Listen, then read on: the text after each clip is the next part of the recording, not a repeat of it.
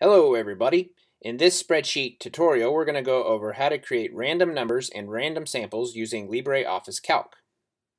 To create a simple random number we can use the rand function. Let's go up to the function wizard, click the button, and we can see that rand returns a random number between 0 and 1. Let's hit OK. Let's go ahead and delete that.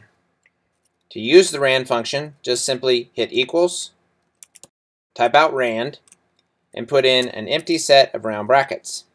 And that will give you your random number. Now one thing you'll notice is when you use these random functions, these numbers will continue to change unless you copy and paste them as values. Another thing you could do if you wanted to make this number bigger is to simply multiply it by some number. For our next example, we're going to use the rand between function. If you go up to the function wizard again, we can see that rand between returns a random integer between the numbers you specify. So let's delete it, hit equals, type out rand between, and for the first argument, that's going to be the smallest number or the bottom. Let's just make it 1. Put in a comma, and for the second argument, that's going to be the largest number or the top. Let's put in 25. And you can see here we have a random number between 1 and 25. Now if you're on a PC, you can hit F9 to change that number. On a Mac, it's function F9. And each time you hit function F9, these random numbers will change. Like that. Okay? Now, as we mentioned, if you don't want them to change, you can copy them. So hit Control C or Command C right click, paste special, hover over this box here where it says values only, click it, and now these cells where the random functions were, the function is gone and we just are left with a number. Next, let's say you wanted to do a random sample and just choose a letter from this set of letters here, the alphabet.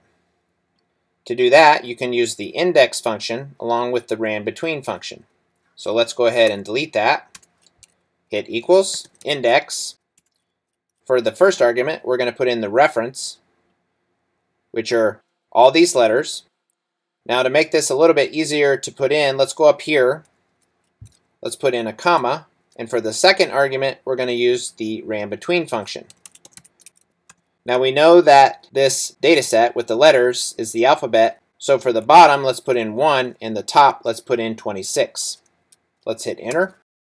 And we get our random sample, D, from this data set, the alphabet. Now if you wanted to change that, you can use F9 or function F9, like that. Next, let's say that we wanted to choose five letters at random from this data set.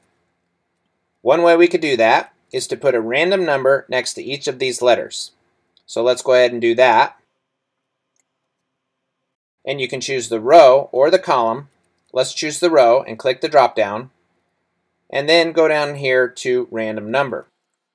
If you wanted to change your distribution minimum or maximum, you could do that, but let's just leave it as is and hit OK and that should put a random number next to each of these letters. Now I don't think you have to worry about these numbers repeating. However, if you ever wanted to check it, let's show you how you can do that. Let's go to the Duplicates tab, and one way you can see duplicates is to go up to Format, then go to Conditional Formatting, choose Condition. We want this drop down to be cell value is, then for this drop down, we want to go to duplicate. For our style, let's choose a new style. Go to background and let's choose orange. Let's hit OK. And make sure that you put all your data in the range where you want to check for duplicates. So let's go ahead and select all the data here. Now we should be able to hit OK, and any of the letters that are duplicates will be highlighted orange. Okay, so you can see that A has a duplicate, B and D do not, but C and E do. Now, if you'd like to get rid of those duplicates, we can go up to Data, More Filters, Advanced Filter, go ahead and select the data and make sure you include the header. Go to Options and click this No Duplications. Click OK. And that will go ahead and get rid of all of the duplicates. So let's go back to our tab. And as we mentioned, I don't think you have to worry about that for these numbers, but just in case you wanted to check, you can do that. Now, let's go ahead and sort this data set by the numbers. So let's go up to the toolbar and choose Sort Ascending. So if you just wanted to choose five letters at random, you could just go ahead and select these top five letters, copy them, and paste them, and then use them as needed.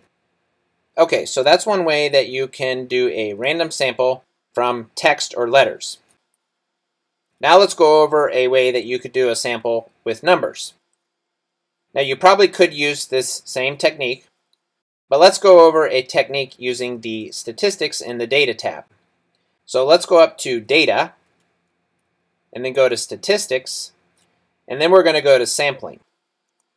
So the first thing we want to do is make sure we have our input range correct. So let's go ahead and select this and choose our numbers. Then we want to put where we want our results to be displayed, and we want them to be right here. For the sampling method, we want random, and for our sample size, we want 10. Let's go ahead and click OK. And here we get 10 random samples chosen from this larger data set. Okay? That's all we have for this tutorial. Join us again next time.